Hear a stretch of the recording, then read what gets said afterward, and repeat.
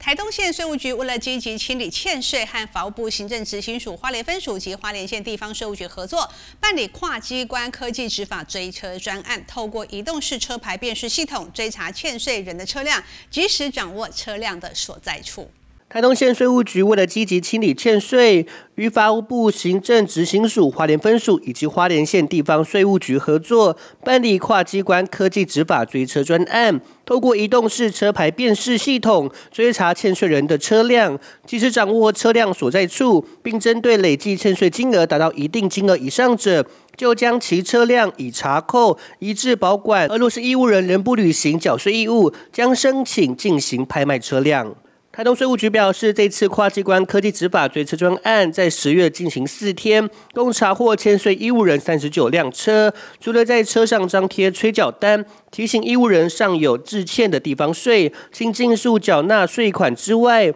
另就大额欠税的义务人所有车辆，共查扣了五辆，移至到税务局保管。经义务人到税务局缴清欠税款后，已发还义务人使用车辆共计有三辆，合计征起金额二十余万元。